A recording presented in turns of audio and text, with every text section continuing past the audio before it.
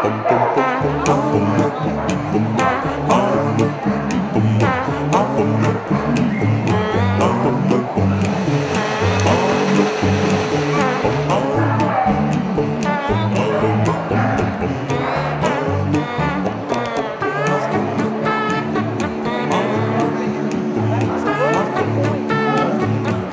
Het beursgebouw in Eindhoven werd vrijdagochtend weer bezet door vele rashonden en hun baasjes.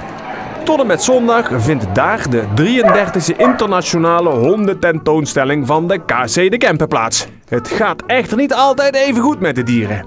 Bij sommige honden vroegen we ons zelfs af of ze de ring überhaupt wel kunnen zien. Nou, ze zien toch best nog veel hoor. Jawel, vergis je er niet. Hij loopt wel eens tegen een deur aan, maar sommigen vragen van hebben ze wel oogjes? Ja, die hebben ze.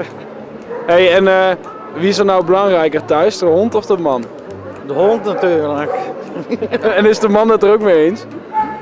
Nou, daar is hij ondertussen wel achter.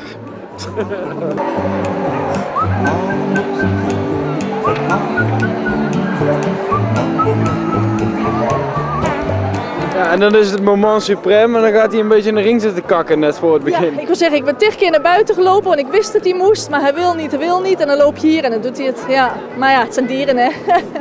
ja, er is niks aan te doen. Dat de honden niet midden in de ring mogen poepen is wel duidelijk. Maar waar kunnen 2300 honden en hun baasjes dan wel hun behoefte kwijt?